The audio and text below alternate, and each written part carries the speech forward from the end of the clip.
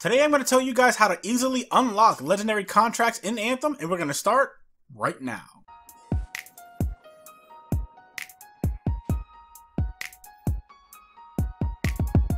What's up guys, Reckless here and welcome to Guardian Watcher. Today I wanted to talk about legendary contracts and how to easily obtain them. Yes, easily obtain them. This video will be short and straight to the point.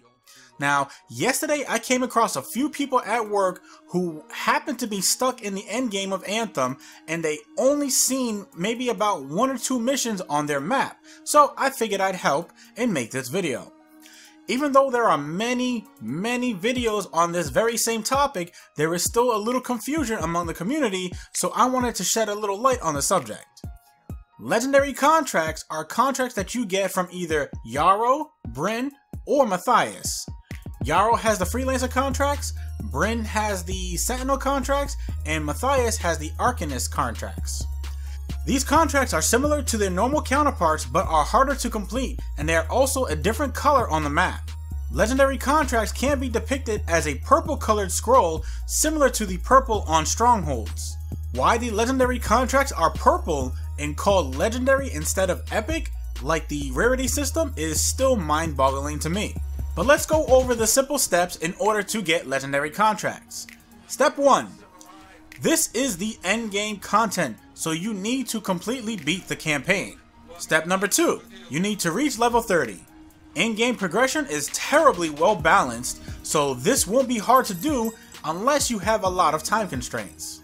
And step number 3. You need to reach loyalty level 3 with each of the factions, that is the Freelancer, Sentinel, and the Arcanist. You can do this by gaining reputation by completing agent quests and contracts. In order to make progression with each faction go faster, you need to literally tell the NPC what they want to hear. And you can also track your progression with each faction in the challenges tab under the faction section. After you complete all of these, then you will have unlocked legendary contracts. Now, the best part about legendary contracts is that you will get three, yes, three legendary contracts each day, and each of them will award you with one guaranteed masterwork item. This masterwork item can be a part of your gear which may include your support, a weapon, or a component.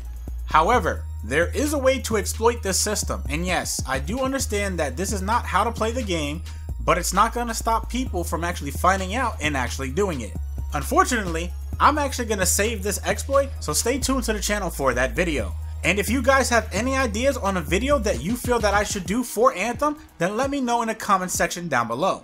And that, my friends, brings us to the end of the video. If you enjoyed this video, feel free to watch these videos as well. You never know, you just might like them. And if you do, leave a like, share them, and then come back for more, because you know you want to. Thank you guys for watching, and remember, less guns doesn't mean less crime. And I will see you guys next time.